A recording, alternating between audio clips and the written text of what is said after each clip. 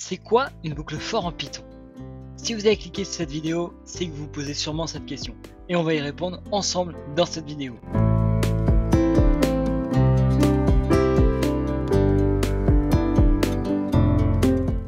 Tout d'abord, pourquoi utiliser des boucles?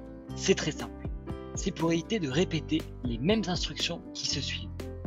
Par exemple, si je demande d'écrire un script Python qui affiche 50 fois dans la console, abonne-toi. Si tu n'utilises pas de boucle, ça risque d'être un peu compliqué, tu ne vas pas t'y retrouver, c'est pas joli et pas éthique.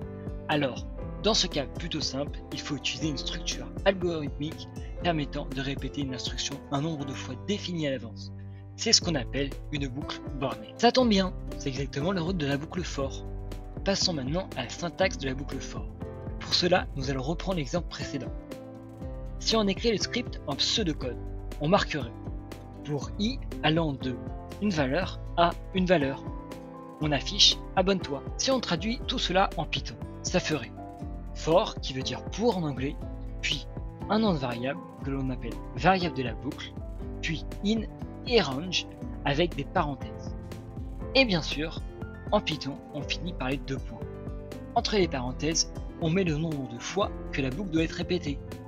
Exemple, si je mets 5, l'instruction print sera exécutée 5 fois. Par contre, la variable i prendra les valeurs 0, 1, 2, 3 et 4, mais pas la valeur 5. Alors il faut faire attention à ça. De plus, si je mets une autre instruction print en dehors de la boucle for, en enlevant l'indentation, cette instruction ne sera exécutée qu'une seule fois. Si je veux qu'elle commence à un nombre bien précis et qu'elle finisse à un nombre bien précis, il faut faire ça.